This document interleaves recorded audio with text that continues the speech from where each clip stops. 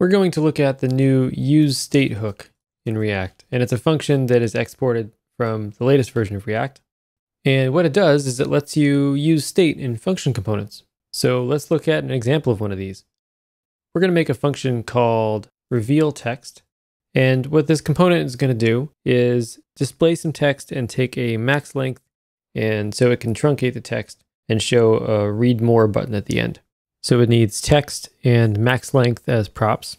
And for now, just to get something on the screen, we're going to return a span that just renders out the text. Then down here, we can render out the reveal text component and pass in a max length of say 32 and some text. So what we'd like to do is if the text is short enough, we don't want to show any buttons at all. So if the text length is less than or equal to max length, we'll just return the span that we already have. Otherwise, we'll return something else. And so for now, that's what we're getting. So let's use the useState hook to add a piece of state here to keep track of whether the text is hidden or not. To do that, we're going to call useState and pass in some sort of default state. What this useState function does is it takes an initial state and it returns an array with two elements. So we can destructure that array. And what we get is the first element is going to be the state itself. And this is going to be whether this text is hidden or not. And the second element is a function to update the state. So we'll call it set hidden. We get to decide what this initial state is, and we'll say that it's going to be true. We're using ES6 destructuring here to pull the elements out of the array and give them names. So we're calling the state hidden and we're calling the setter set hidden, but you could call them whatever you like. The first time through here, useState is going to initialize to true, and so hidden is going to be true. This one line is all it takes to add state to a function component.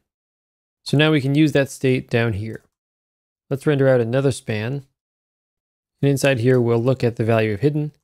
And if it is hidden, we'll truncate the text using the substr function and we'll go from the first character to max length. Otherwise, we'll just render out the text. And then after the text, we're going to check hidden again. And if it is hidden, we want to render a button that says read more.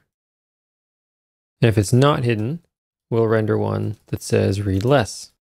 These won't do very much without click handlers, so let's add one of those in.